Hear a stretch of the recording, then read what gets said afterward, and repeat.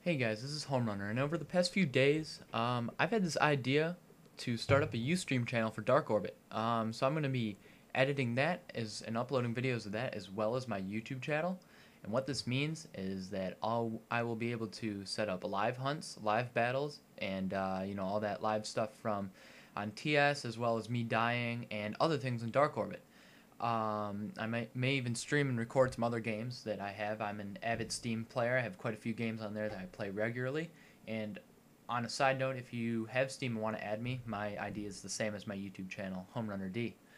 Um, but back, anyways, I set up a Ustream account, and uh, the link is in the bottom bar, and it's in an annotation on this video. So click it, bookmark it, and come check it out whenever I'm streaming and watch some Dark Orbit hunts.